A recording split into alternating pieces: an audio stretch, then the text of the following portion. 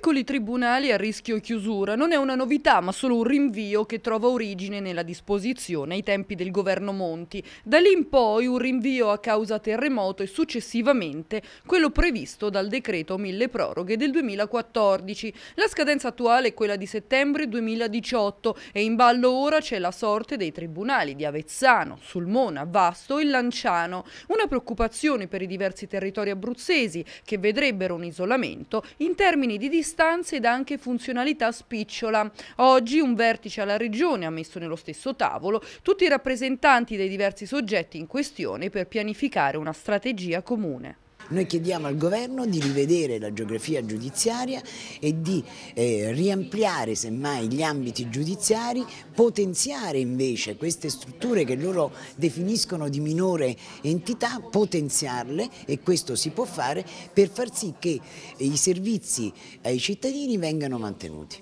Una proroga che eh, per me, sindaco di Vasto, dovrà diventare anche un, eh, un momento per chiedere la eh, definitiva eh, stabilizzazione di questo servizio di giustizia, ovvero il mantenimento del Tribunale di Vasto in quanto è un tribunale importante per il sud dell'Abruzzo, è un tribunale che rappresenta momento di confine con altre regioni. Io ricordo per eh, chiarezza che nel 2012 il Parlamento ha deciso di chiudere quattro tribunali abruzzesi, Avezzano, Sulmona, Lanciano e Vasto, questa chiusura è stata sospesa a causa del terremoto e la sospensione cessa a settembre 2018.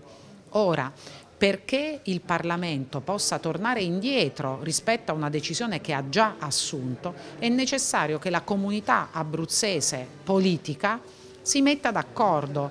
Io ritengo molto difficile che si possano salvare tutti e quattro i tribunali soppressi, perché, come ha detto il Ministro Orlando quando è stato qui, abbiamo chiuso uffici in tutta Italia e la riforma ha funzionato.